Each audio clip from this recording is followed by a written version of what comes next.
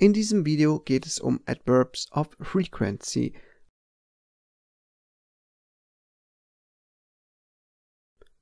Häufigkeitsadverbien drücken aus, wie oft etwas geschieht. Die bekanntesten sind always, usually, often, sometimes und never.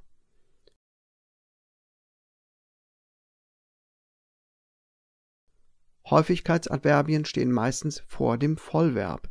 He never plays basketball. He has never played basketball. He will never play basketball.